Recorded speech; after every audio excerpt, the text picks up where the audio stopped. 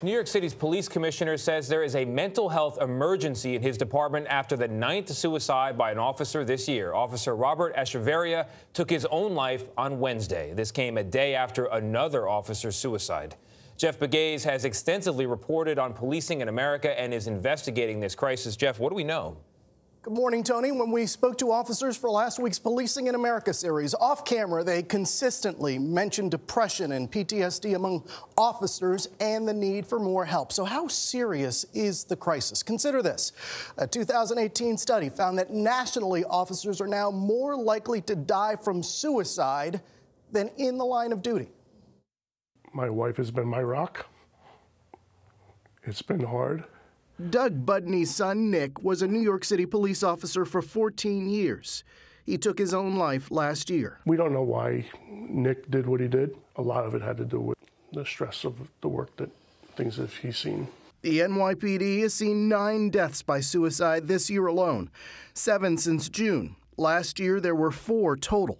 Police Commissioner James O'Neill. It's uh, beyond a challenge, it's a crisis. You think, that, okay, this is going to be the last one, and, and last night got a phone call, and I just it, it, it, it, just almost knocked me down. I just took the wind right out of me. I just, you know, you know uh, what the hell's going on here? At least 124 officers nationwide have taken their lives this year. In 2017, at least 140 officers died by suicide, compared to 129 who died in the line of duty.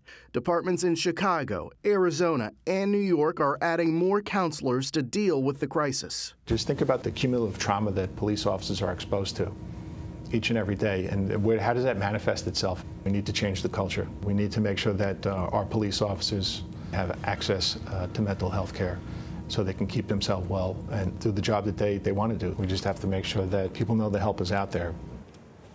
And the NYPD is offering counseling and new ways for officers to seek help anonymously. But a study finds that only about 3 to 5 percent of police departments nationwide have the resources that they need for suicide prevention.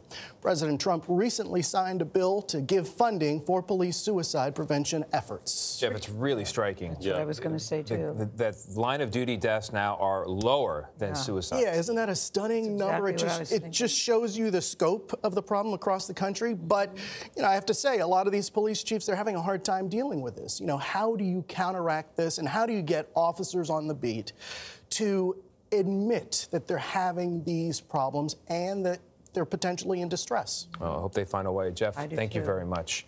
If you or someone you know is in crisis right now, contact the National Suicide Prevention Lifeline. That is 1 800 273 8255.